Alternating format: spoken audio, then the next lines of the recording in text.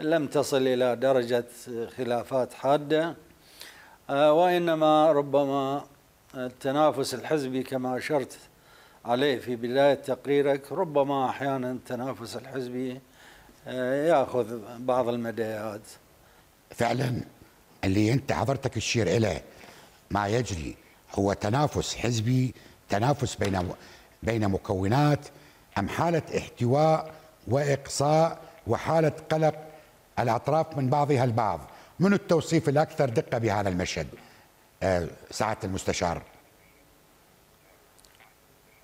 آه، دكتور هي لحد الآن بصراحة الدوافع ما كانت واضحة كلش. هناك طلبات صارت لانتخابات مبكرة مثلا أو لتغيير قانون الانتخابات والعودة إلى القانون القديم وما شابه. الدوافع لحد الآن ما واضحة بشكل صحيح. بس آه، هناك ملاحظات على هاي الدعوات. أولا هي تكاد تكون من طرف واحد. الأطراف الباقية لم تحدد موقفها لحد الآن. نعم. بل يبدو أنها غير مقتنعة بهذه الدعوات. واضح أنها غير مقتنعة وإلا كان تلقفت الفكرة وبنت عليها. فطالما الدعوات لحد الآن من طرف واحد آه، لم يؤيدها لحد الآن أي طرف سواء داخل الإطار أو خارج الإطار التنسيقي. نعم. آه، فلا تزال الدوافع أنا أخذتها للجانب الحزبي أكثر من جانب آخر. لا توجد مبررات وطنية بالوقت الحاضر تدفع باتجاه إجراء انتخابات مبكرة.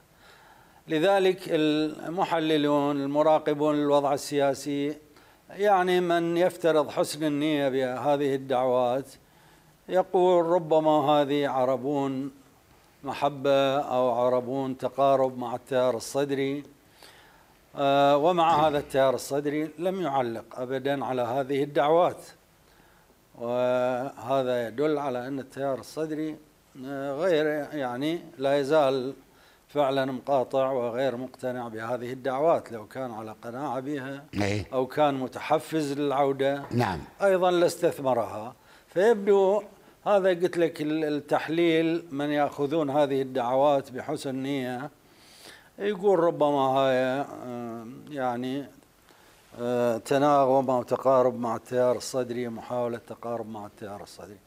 أما اللي آه، نعم. يبني عليها احتمالات أخرى يروح باتجاه التنافس الحزبي يروح باتجاه المصالح الحزبية البحتة. الأستاذ سبحان يعني لحد الآن ماكو دوافع وطنية تبرر آه، إجراء انتخابات مبكرة. مع العلم دكتور مع نعم. العلم أن الحكومة مبدئيا ما عندها مانع لإجراء الانتخابات المبكرة قطعا إذا صار هناك توافق سياسي كامل من ائتلاف إدارة الدولة عليها.